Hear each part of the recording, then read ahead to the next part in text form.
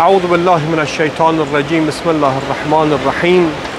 وصلى الله على سيدنا محمد وآله الطيبين الطاهرين. السلام عليك يا أبا الفضل عباس در قسمت دوم از فضائل و کرامات و شخصیت ابوالفضل عباس علیه السلام در بین الحرمین قرار داریم. همونطوری که در قسمت اول عرض کردم یکی از ویژگی های ابوالفضل عباس علیه السلام که درس زندگی برای ما هم هست این است که ابوالفضل عباس علیه السلام از امتحانات الهی در طول عمر مخصوصا در ایام محرم و اخصا در روز آشورا سربلند بیرون آمد. ولذا ائمه اطهار علیهم السلام در وصف ویژگی های ابوالفضل عباس علیه السلام کلمات بسیار بلند و جملات بسیار پرارزش را برای ایشان فرمودند. از جمله امام سجاد علیه السلام که این رو در سه چهار بخش خدمت شما عرض می‌کنم.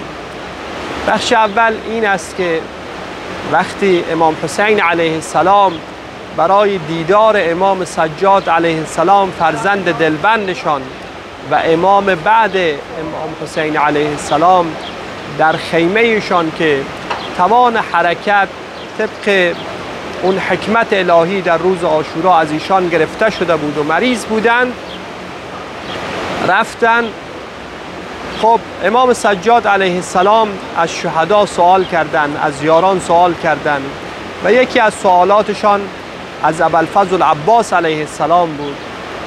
فرمودند که عمویم عباس کجاست؟ امام حسین علیه السلام فرمودند که ابوالفضل عباس علیه السلام به شهادت رسیده است. در روایت دارد که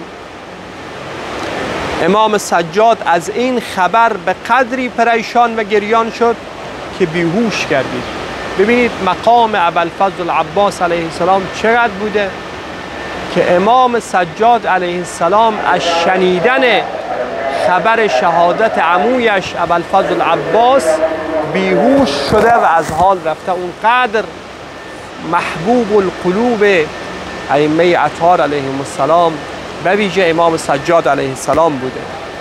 و یا وقتی در روز سیزدهم محرم الحرام امام سجاد علیه السلام به اذن الهی در همین سرزمین تشریف آوردند و به کمک بنی اسد شهدا رو دفن کردند وقتی کنار بدن بی دست عمویش حضرت ابوالفضل عباس علیه السلام قرار گرفتن خود را روی پیکر متحر عمویش ابوالفضل عباس علیه السلام انداخت و در حالی که در روایت دارد میبوسید این جمله را فرمود علی الدنیا بعد کلعفا یا قمر بنی هاشم. بعد از این بعد از تو یا ای قمری بنی هاشم دنیا دیگه به درد نمی‌خوند خاک بر سر دنیا.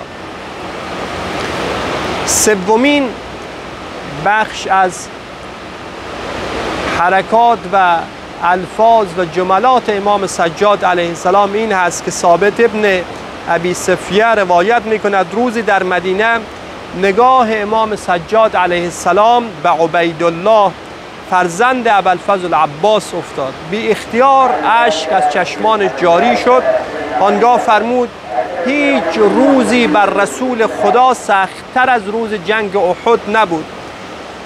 در آن روز عمویش حضرت حمزه شیر خدا و شیر رسول خدا صلی الله علیه و آله و سلم کشته شد و به شهادت رسید.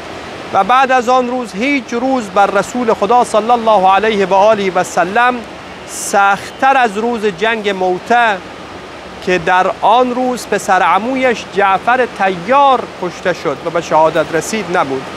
آنگاه فرمود اما هیچ روزی سختتر از روز شهادت حسین علیه السلام نبود. سی هزار نفر از دشمن که می پنداشتن از امت اسلام هستند حسین علیه السلام را احاطه کردند و در ریختن خون او به خدا تقرب می جستند آنان به نصیحت امام حسین علیه السلام گوش نکردند و از روی ظلم و دشمنی آن حضرت را به شهادت رساندند بعد این جمله را فرمود درباره ابوالفضل عباس علیه السلام که کنار حرم مطهر این شهید بزرگوار هستیم و آفتاب هم طلوع کرده است. آفتاب آمد دلیل آفتاب. فرمودن رحم الله العباس. خدا رحمت کند. عمویم ابوالفضل عباس را. عباس ابن علی فلقد فلقد آثر آثر و ابلا و فدا اخاه به نفسه فرمودن که اون چند ویژگی خاص ابوالفضل عباس علیه السلام رو اول آثر ایثار کرد در راه خدا در راه امام حسین علیه السلام.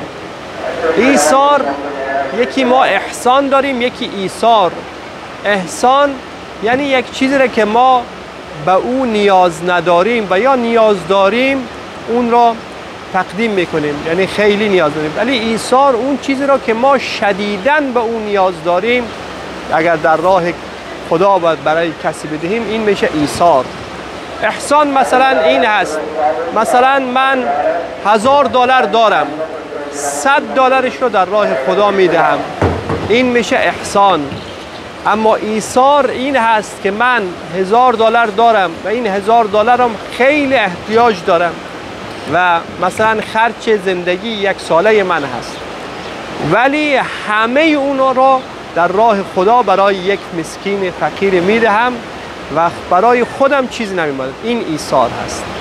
اول فضل عباس علیه السلام جانش را فدای اول امام حسین علیه السلام. جانی که همه انسان ها به اون نیاز دارد آبی را که می‌خواست بنوشد با اینی که می‌توانست ننوشید. این می‌شد ایثار. و ابلا و امتحان شد و فدا اخاه به نفسه جانش رو فدای برادرش امام حسین علیه السلام کرد. حتی قطعت یداه طوری در راه امام حسین علیه السلام مقاومت کرد و جنگید که حالا اینجا فرموده است هر دو دستش رو قطع کردن. والله ان قطعتمو یمینی که الان در این کنار ما دست های بریده محل دست های بریده ابوالفضل عباس علیه السلام هست. فابدله الله بهما جناحین یطیر بهما مع الملائکه فی الجنه. خدا عوض این دو دست یک عنایتی فرمود یک لطفی فرمود که دو تا بال برای ابوالفضل عباس علیه السلام عنایت فرمود که با ملائک می‌تواند در بهشت پرواز کند. کما جعل لجعفر ابن ابی طالب همونطوری که بر حضرت جعفر فرزند ابو طالب پسر عموی امام علی علیه السلام این عنایت رو فرمودن. خب بعد فرمودن امام سجاد علیه السلام در ش... و ان للعباس عند الله تبارک و تعالی منزلتا برای ابوالفضل عباس علیه السلام یک منزل و یک جایگاه و یک مقامی خدا عنایت فرموده است. عند الله تبارک و تعالی منزلتا یغبطه بها جمیع الشهداء یوم القیامه. که این در این مقام همه شهدا غبطه می‌خورند. ببینید همین یک کلام بس هست. بالاترین مقام و کمالی که یک انسان می‌تواند به اون دست پیدا بکند که از اجتهاد و از علم و از هم تقوا و یقین و ورع و همه چیز را اگر شما در نظر بگیرید از اون بالاتر. در حدیث داریم هر خیری بالایش خیر, خیر, خیر بالاتر از اون است. تا مقام شهادت. مقام شهادت وقتی که جان خود را اخلاصمندانه در راه خدا بگذاری دیگه بالاتر از این نیست. مثلا یکی خدمت می‌کند برای خانواده بله این مقام دارد.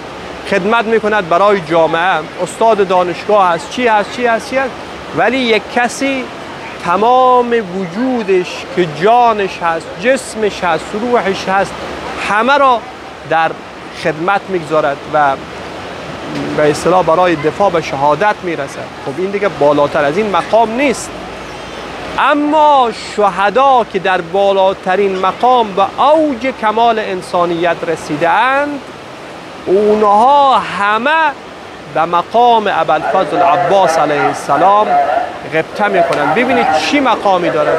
لذا همینجا دست توسل می‌زنیم به دامن این باب الحوائج. وقتی خدا این مقام را داده است پس نامحدود عنایت هم بر ایشان فرموده است.